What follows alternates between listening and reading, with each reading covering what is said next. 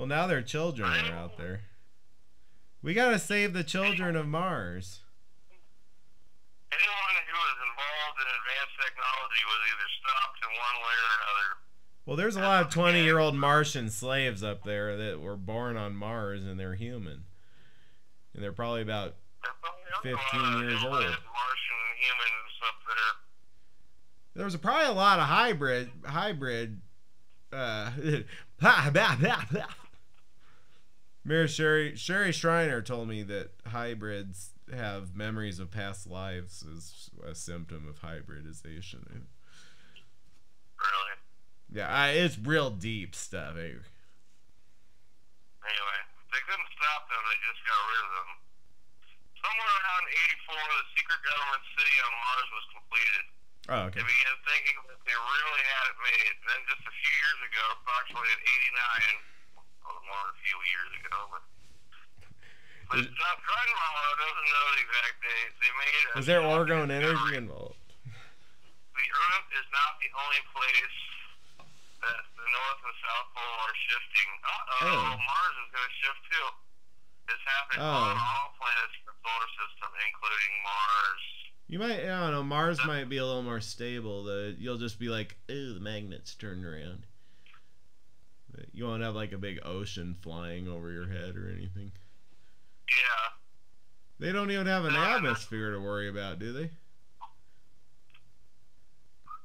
ocean flying overhead. Now You can go to Mars and make an atmosphere pretty easy. It sounds.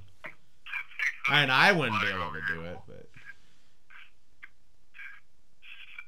especially when they get the nanotechnology bots going, they're gonna be able to make a Martian base pretty easily. They might be. They're probably already doing it. Was that through NAP? What did you say? Heart? No.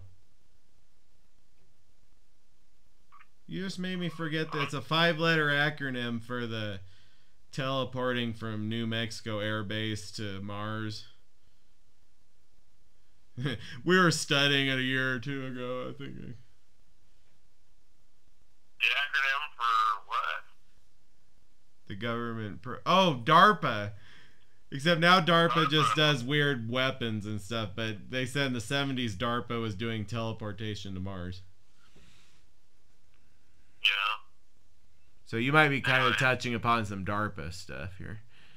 Okay. Let me finish it. Yeah. We'll talk Anyway. about it later. Anyway, okay. Seven to nine months later, a further blow hit when they learned that it wasn't just a physical change that was occurring, but also inter- interdimensional change in consciousness.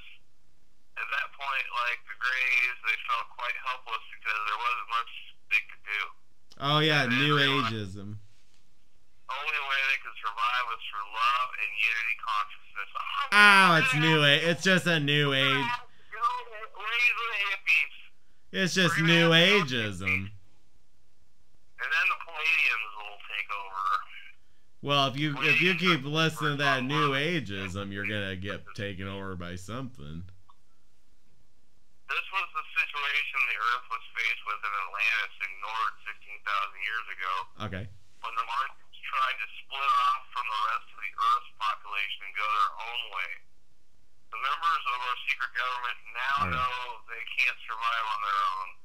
They're leaving people like Grunwald alone. People They need to come. They, they want to come back home to Papa. Um, let's go back for a moment to Richard Hoagland and his research on the monuments of Mars.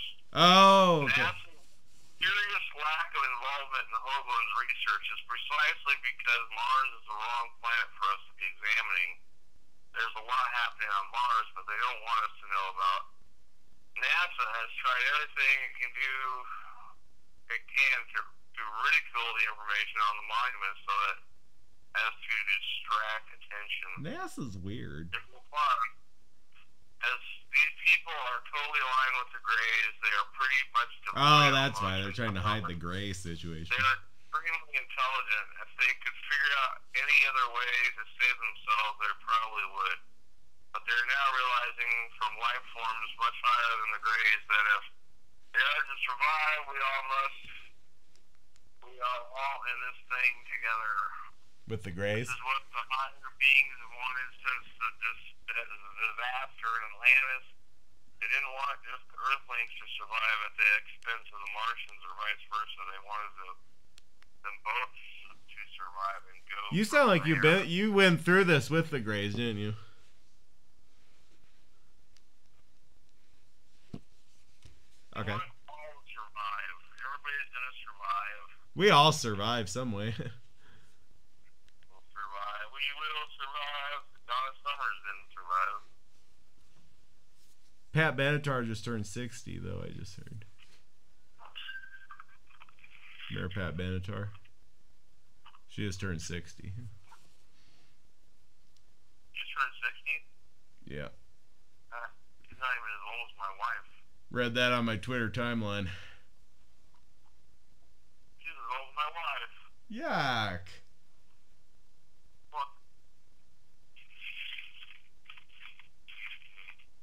Who? Gross.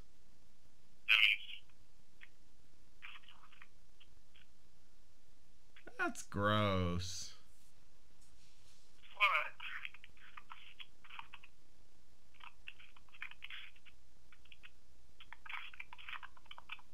Are you te- are you texting in the middle of the night again?